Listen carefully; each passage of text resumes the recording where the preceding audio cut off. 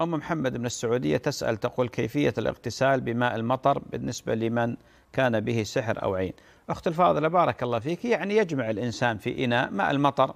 ينزل المطر فتضعين إناء في الحوش مثلا والماء المتجمع فيه تغتسلين فيه تغتسلين فيه. ولو اغتسلت فيه في السحر يعني في الثلث الأخير من الليل يكون أفضل مع يعني بعدها تصلين آه، شيء طيب. بارك الله فيك.